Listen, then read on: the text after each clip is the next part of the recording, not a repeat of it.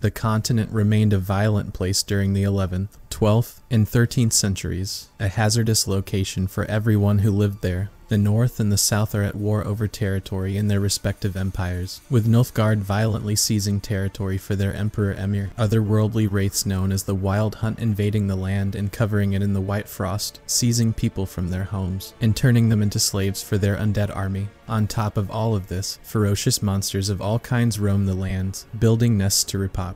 Early on, when the lands were being populated, those in authority sought assistance from special warriors known as Witcher, whose sole mission was to battle monsters of all kinds using their skills as well as magical powers and concoctions to kill them and eradicate them from existence. But as time went on and humans began to predominate, these warriors lost their reputation as some of the most terrifying people in the land. Who created them in this video? We examine the law and history of the cat-eyed, magic-wielding warriors known as witchers and why they are feared by humanity. We also look at how their numbers have changed over time as the catastrophic event of the conjunction of the spheres occurred.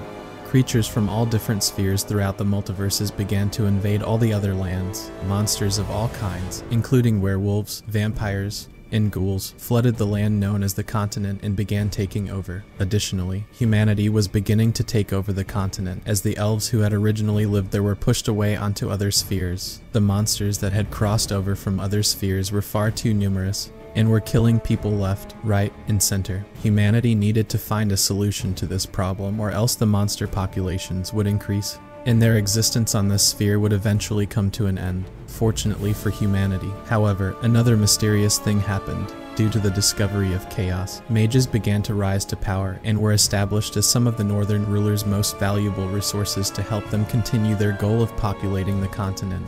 With this in mind, the northern rulers collaborated with the mages to develop a new kind of warrior, who would be able to use magic and finally deal with the monsters that were outpacing all of their forces. Possibly these adults had the mental capacity to handle the magic they were being given. But they failed the test, and the mages were looking for another way to solve their issue.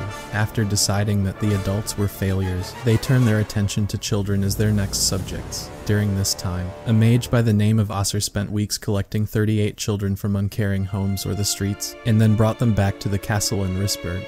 There, they were immediately put through rigorous training regimens that would test their agility and survival skills, including climbing cliffsides, running obstacle courses full of traps, dodging swinging pendulums while blindfolded, and more. The experiments were getting closer, and the kids were getting faster and stronger by the minutes before they underwent the experiments. The kids had started making and consuming bubbling mushroom stews and soapy alchemical teas. But now as the experiments waged on, the mages encountered a new problem. The experiments were Deaths were occurring all around, and it appeared that the experiments had been in vain because none of the children could turn into these warriors. Eventually, five of the boys survived and had transformed into robust, adaptable people whom the mages named the witchers. Despite this, some mages, like Alzheimer, wanted to continue their experiments and push these new mutated people further. The group traveled to a new castle called Castle Morgreg and continued their experiments there.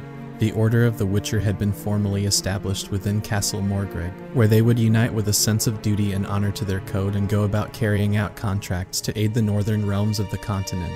During their stay in the castle, the mages continued to experiment on children they had obtained from all over the lands and forced them into trials to help them become the Witcher they needed them to be. The first trial they were subjected to was the Crucible, where they would consume the grasses. The process would last a week, and the children would have the herbs and elixirs injected directly into their veins to immobilize them. The average lifespan of a child in this environment would be three days. Those who survived the process would experience madness, vomiting, seizures, and cold sweats. When they eventually awoke on the seventh day, their eyes would change to a cat-like form, after undergoing the Witcher process, the subjects would have superhuman reflexes, slower aging, increased physical strength, and enhanced senses. They would then have to endure the trial of the dreams, which involved psychedelic visions produced by druids and mages. This trial was intended to further improve the subjects' abilities and help them improve their night vision but it also required the witchers to undergo complete sterilization. Later in the Witcher years, the Witcher had to navigate caves inhabited by an old Cyclops without waking him up,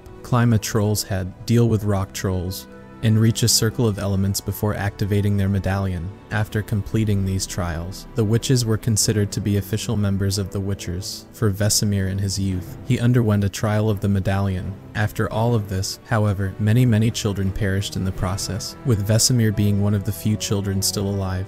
However, at the conclusion of the procedure, a Master Witcher could challenge one of the new Witcher to a trial of the sword.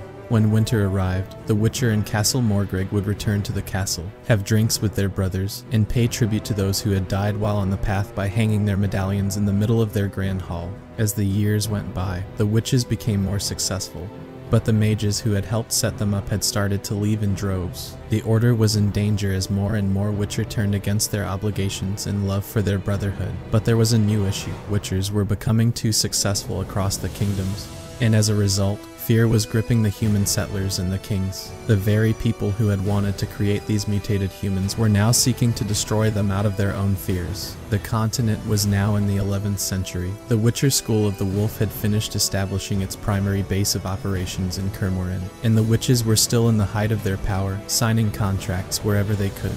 All the schools were now located throughout the continent. Monsters were dying in droves because the highly successful mutant warriors were using all of their skills to hone their magical abilities and take on some genuinely terrifying foes, and for the School of the Wolf one of their stories had yet to be told. That Witcher would be Geralt of Rivia, and his tale would help the Witcher's name remain forever in the history books. He would save the world from the Wild Hunt, and would become a father figure to the Princess Cirilla daughter of Emperor Emhyr. And that is the lore and the history of the mutated warriors of the Witchers. If you enjoyed this video, please don't forget to subscribe so I can reach the minimum required subscribers for monetization, so I can get some money to make you guys bigger and better videos. Put shrooms in the comments so I know that you made it to the end of the video. And if you really want to make me smile, go send the word shrooms in my Twitch chat. My Twitch link is in the description. You can also click the suggested video on screen that YouTube has handpicked just for you. I'll catch y'all later.